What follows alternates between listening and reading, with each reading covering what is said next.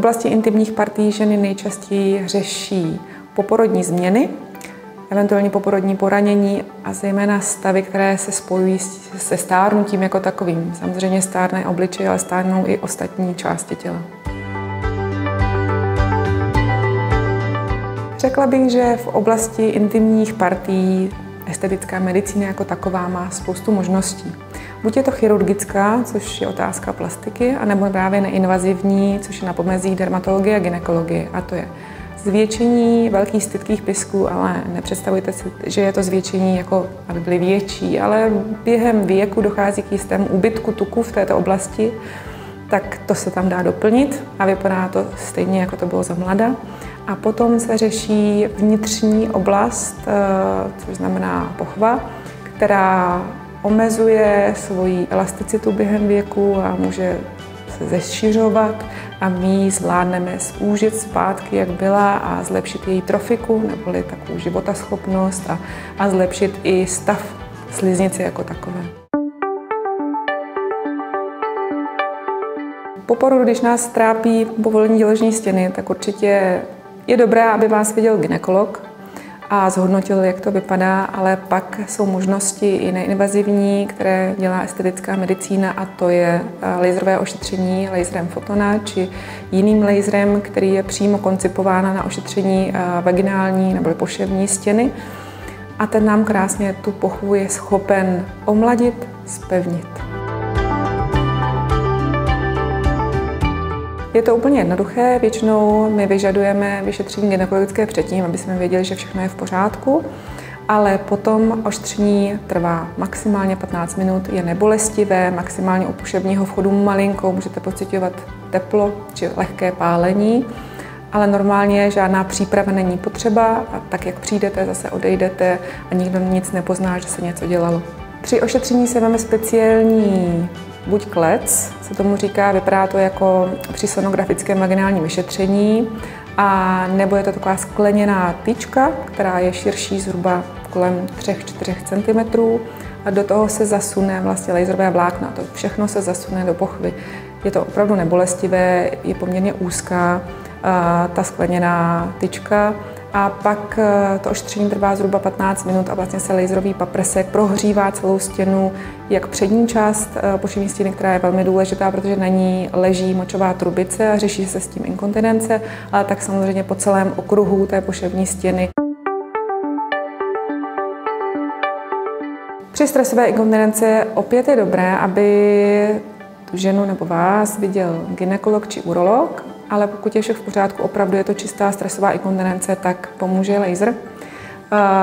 Pokud je těžká, tak je potřeba i přidat medikaci, nějakou e, různé rehabilitační možnosti jsou jako posilování panevního dna, ale velmi dobře zabírá i právě laser fotona, kdy se musí přijít na víc ošetření, ale vzhledem k tomu, jak se spevní kolagen na přední straně pochvy, kde je uložená močová trubice, tak to pomáhá i při stresové inkontinenci. Jízva po nástřihu ráze může být nejen esteticky, že může vadit, ale může být bolestivá, zejména při styku, ale při různých činnostech, jako je třeba ježdění na kole. A je to proto, že tam může být pevná příliš a tím pádem táhne a táhne tam určité septa, které jsou vevnitř v kůži, anebo zavezme nějaký nervík, který prostě může bolet. Při ošetření laserem v této oblasti či radiofrekvencí se dá docílit toho, že se povolí ta jizva a je měkčí a už tolik nebolí, a nebo esteticky se dá zlepšit. Může být u někoho pigmentovaná, tak jsme schopni i ten pigment odstranit, takže opravdu ten výsledek je jak funkčně, tak esteticky lepší po laserovém ošetření. Při ošetření jizev po nástřihu se používají jak lasery, CO2 lasery, erbiové lasery nebo frakční lasery, a nebo lasery na odstranění pigmentací, nebo radiofrekvence, které prohřívají celou tkáň a vrátí mladistvější vzhled.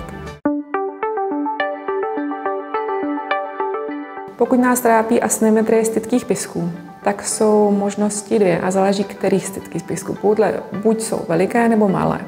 Pokud je výrazná ta asymetrie, bohužel neinvazivní procedury nepomohou, musíme se svěřit do rukou odborníků plastické chirurgie, ale pokud jsou ty asymetrie malé, jak velkých, tak malých stytkých pisků, tak můžeme buď někde doplnit hyaluronovou kyselinou něco, nějaký ten drobný nedostatek, který tam je, anebo naopak zmenšit malé stytké pisky nebo i velké pomocí radiofrekvence. Radiofrekvenční ošetření jak velkých, tak malých pisků vlastně oblasti kolem genitálu je zcela nebolestivé.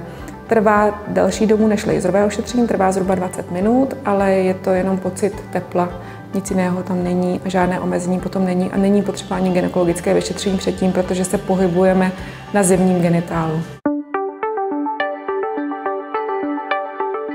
Nepříjemné sucho v pochvě je zejména díky atrofii eh, vnitřní výstelky pochvy a tu potřebujeme prostě omladit. Omlazují se tak, že eh, gynekologové předepisují různé hormonální masti nebo hormonální substituční terapie, ta trochu, tak samozřejmě může pomoci, ale nepomůže úplně všem a, a mnoho lidí není pro si tam dávat jakby hormonální terapii, nebo to nelze z nějakého důvodu. Takže pak je dobré i laserové ošetření či laserové ošetření jako doplňková terapie a to pomůže obnově a omlazení poševní sliznice jako takové, protože podpoří tvorbu nových cev a tím pádem se vlastně všechno vyživí. U prolapsu dělohy pomůže chirurgie na prvním místě. Ale pokud je prolaps mírný, anebo chirurgická operace není možná, tak určitě laser je metodou volby a pomáhá velmi výrazně. Je potřeba jenom počítat s tím, že je potřeba více sezení. Záleží na tom, jak eh, je porod těžký. Pokud je eh, porod jednoduchý, bez nástřihu, tak určitě eh, je možno třeba za tři měsíce, dva za mě měsíce už přijít vlastně po šesti neděli. Ale pokud je ten porod náročnější s větším porodním poraněním, tak určitě minimálně těch šest měsíců by to chtělo na zahojení těch poporodních poranění a potom můžete teprve přijít.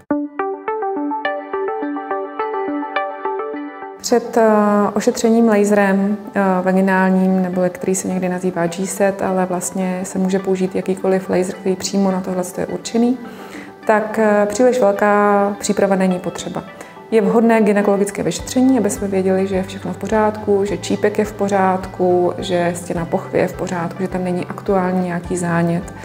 Takže z toho vyplývá, že by neměla, neměla žena mít nějaký veliký výtok, protože by tam neměla mít zánět nějaký, neměla by být menstruace a neměla by si ta žena zavádět jakékoliv globule nebo, nebo tabletky do pochvy tak den, dva předtím, protože laser se akumuluje ve vodě a nesmíme tam mít příliš té pochvě mnoho tekutiny. A to je všechno, žádný jiný, jiná příprava není potřeba, jenom to není vhodné dělat při menstruaci. Po ošetření g se budete cítit normálně hned. Samozřejmě ten den, jeden můžete pocitovat lehké bolesti, třeba jako lehonká menstruace, ale nic většího by nemělo být rozhodně. Je, doporučuje se uh, sexuální zdrženlivost alespoň tři dny, tři až čtyři dny a toť vše. Můžete normálně plavat, sportovat, to, co je potřeba.